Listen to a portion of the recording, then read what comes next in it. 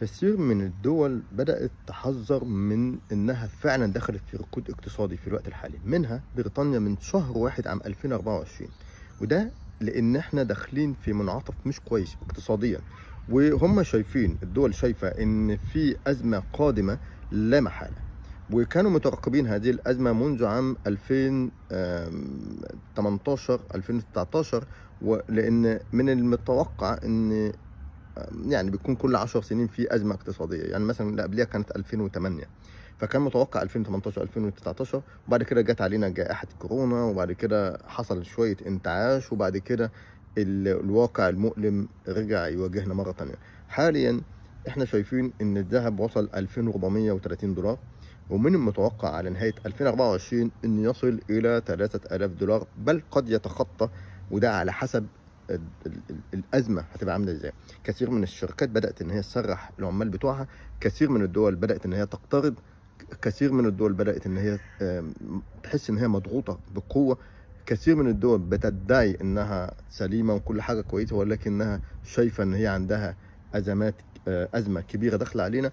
فإحنا دلوقتي هنعمل إيه؟ إحنا عندنا إما إن إحنا نستثمر في فلوسنا اللي يقدر إن هو يستثمر يا جماعة وعنده زيادة في الفلوس أو يقدر إن هو يشيل ما بين 1% إلى 10% إلى 30 حسب أنت ظروفك إيه كل واحد على حسب مقدرته هنستثمر في إيه؟ في الذهب.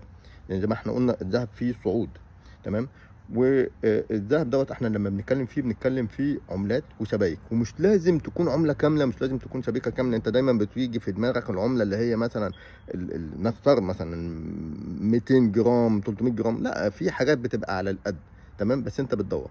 السبيكة مش قادر عليها خالص في سبايك صغيرة بتبقى حتى بضع جرامات برضه موجود. ما فيش مشكلة. فانت بتدور على الحاجات اللي انت تقدر عليها. خلاص؟ تجنب الفضة بالرغم إن الفضة ممكن يوصل إلى 75 دولار ولكن تجنب الفضة لأن أنت لو بصيت على البنوك والدول هم لما بيجوا بيعملوا ال backup بتاعهم أو ال ال إن هم بي الادخار بتاعهم بيكون إيه؟ بيبقى معتمد على الذهب. فخليك على الذهب وده أحسن. بنتكلم ليه في عملات صغيرة؟ لأن اذا لا قدر الله حصل لك أي أزمة من ممكن إن أنت تفك نفسك واحدة واحدة. السبيكه لو هي كبيرة بيبقى صعب إن أنت تفكها. الفضة بيبقى يعني كثير من الأماكن بيبقى صعب إن هي تتباع. مش قادر أشتري عملات وسبائك لسبب مثلا الغش أو بسبب أي مشكلة أو ما فيش والكلام ده كله. حاول تدور على منصة محترمة في في في دولتك. هذه المنصة ممكن تشتري منها أسهم الذهب. خلاص يا جماعة؟ فبرضه في حاجة تانية عايز انصحكم أنصحكم بيها. حاول تقلل مصاريفك. شوف أنت بتصرف زيادة في إيه. الفسح الزيادة مالهاش مالهاش أي لازمة. أو لو كنا مثلا بنسافر مرتين يبقى مرة. لو كنا بنسافر مثلا ثلاث أسابيع يبقى أسبوعين أو أسبوع. لو في مصاريف زيادة إحنا مثلا بنصرفها. نحاول نقللها. ناكل أكل صحي. بلاش الشوكولاتات والبسكوتات والشيبس والحاجات دي كلها. مش فايدة. ما فيهاش أي فايدة.